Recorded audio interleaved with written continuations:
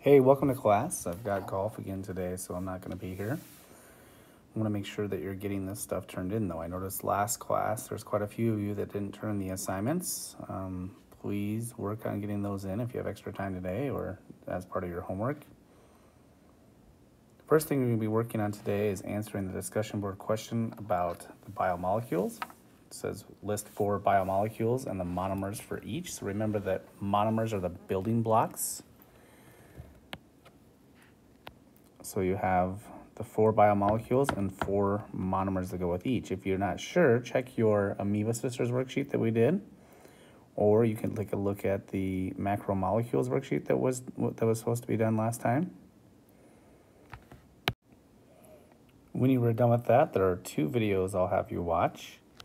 One is called Dehydration, Synthesis, and Hydrolysis. This is how biomolecules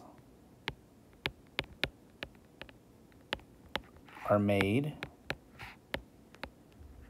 and how monomers are made.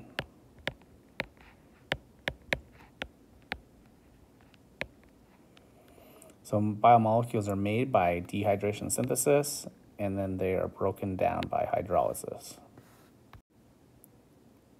You will watch the Crash Course Biomolecules. This is a video that is about 13 minutes or so.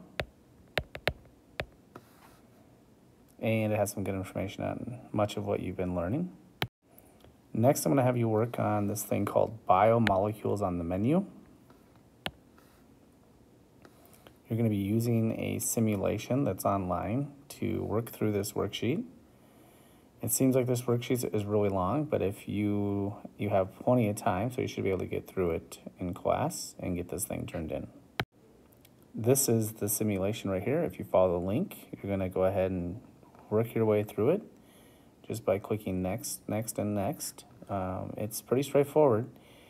Make sure you get this done by the end of class and turned in. I'll see you next time.